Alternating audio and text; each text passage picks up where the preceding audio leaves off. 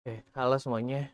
Jadi sesuai judulnya di sini saya mau share ke kalian betapa berapa sih habisnya, apa aja sih yang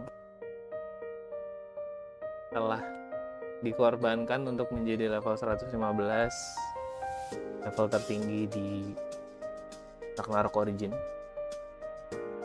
Seberapa mahalnya juga materi yang kita habiskan. Kita lanjut langsung ke bagian pertamanya mungkin di bagian top up dan beli VIP dan beli paket-paket itu saya nggak bahas karena itu kan variatif tergantung masing-masing orang. Tapi kemungkinan besar kalian butuh sampai gila-gilaan sih kalau untuk mengejar level. Saya nggak mau bahas di situ. Saya bakal bahas langsung ke hal-hal yang lebih krusial.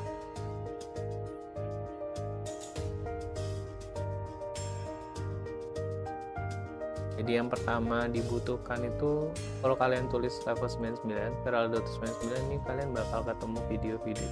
Beberapa saya 99 pertama ya.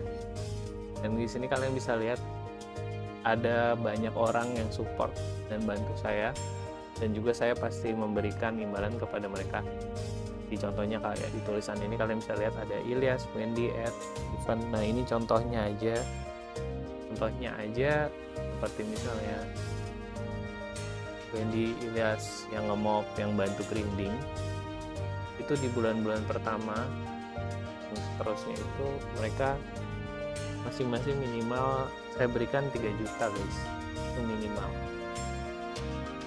Dan kita ada waktunya ngahan masih 12 jam. Di 8 jam lebih dan lain-lainnya. Itu minimal 3 juta rupiah per orang. Dan juga di awal-awal saat kerjaannya masih ada yang lain-lain yang dikerjakan seperti les itu dia sampai dapat dua digit. Di bulan-bulan awal juga ada. Sampai dua digit. Dan bukan juga cuman sampai di situ guys. Kita membutuhkan kalau kalian lihat di sini kita membutuhkan itu kita membutuhkan sampai lebih dari 10 karakter. Saya punya karakter milik saya sendiri untuk membantu supaya grindingnya berjalan dengan ya lumayan lah nggak lancar-lancar amat juga. Itu lebih dari 10 karakter dan 10 10 nya itu memang harus dimainin.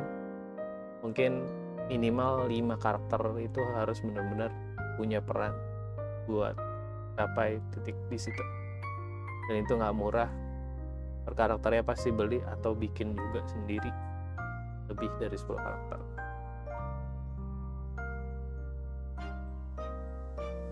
Sekarang saya mau bahas ke berikutnya.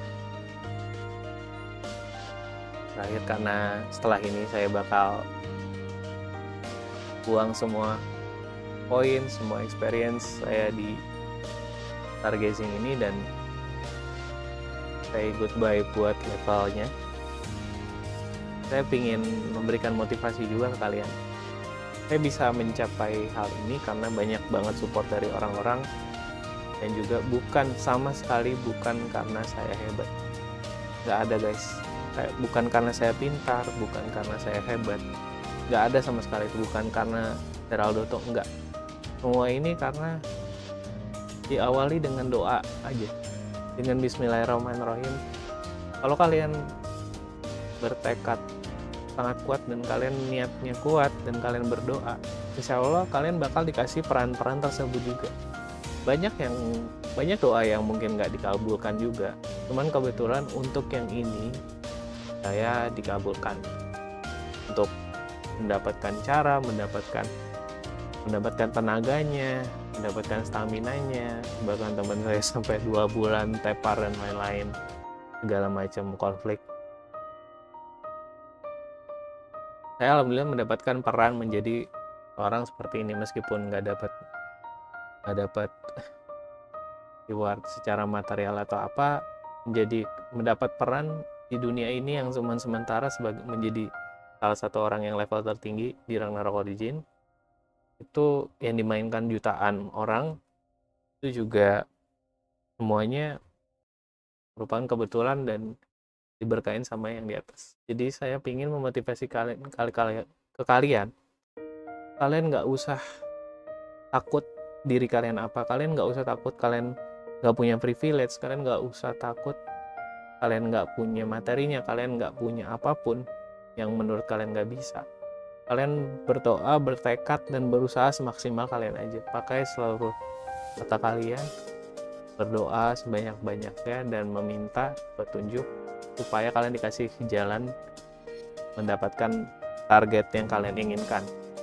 Ini saya ingin motivasi kalian seperti itu. Karena jujur saya nggak ada sama sekali saya nggak pintar sama sekali dengan hal ini.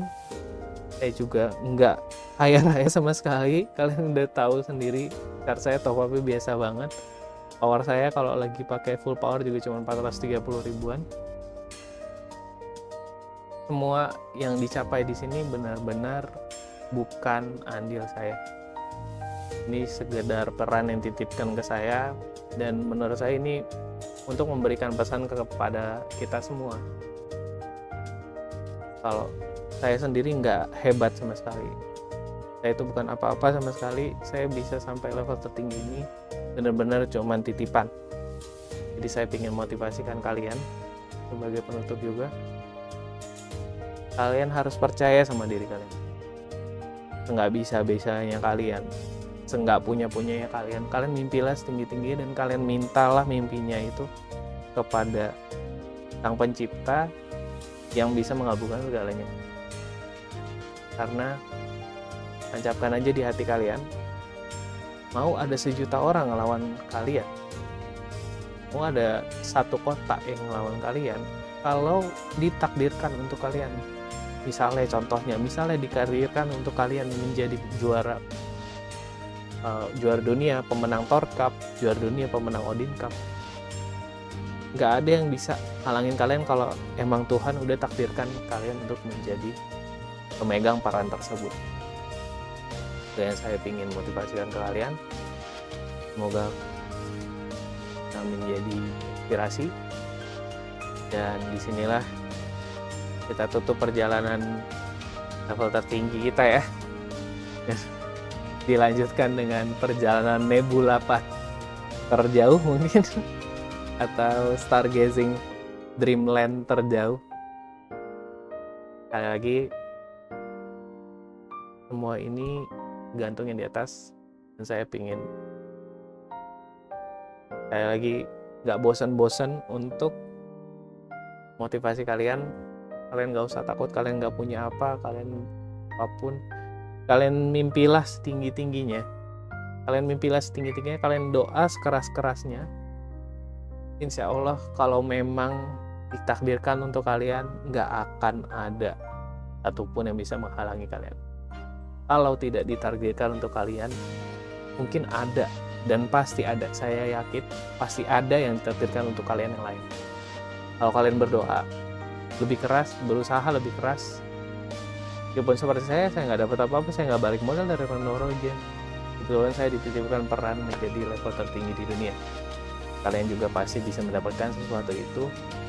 Dan sekali lagi jangan selalu memikirkan soal materi karena meskipun kalian dapat satu triliun seperti Netanyahu kayak mungkin atau siapa kalau kalian kalau satu triliun tersebut kalian gunakan untuk hal-hal buruk dan kalian dapat dengan cara yang buruk seperti buat membantai